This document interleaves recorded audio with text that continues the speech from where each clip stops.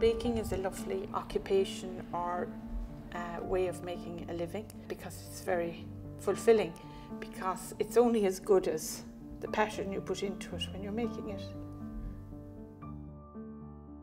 We are a very, very small family run bakery with um, four generations in the village of Cappoquin in West Waterford, uh, Ireland and my grandfather, John Barron, who's in that portrait up there on the wall, he started the bakery in 1887, having returned from New York. He trained as a baker in, in out in Tournina, which is an area just out the um, about a half an hour's drive from here. So he learned his trade there, but he didn't want to continue it, and he got married to Nora Collender, and he started the bakery here. This premises was owned by her family, the Collender family, and they had a lot of property in Cappoquin and her father gave them this property here and they started a bakery here then and it's still going today.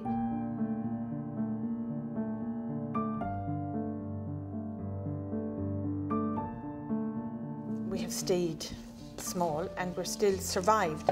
And of course the reason that we've survived is because our principles have come back to us. What we give out in life comes back to us I think.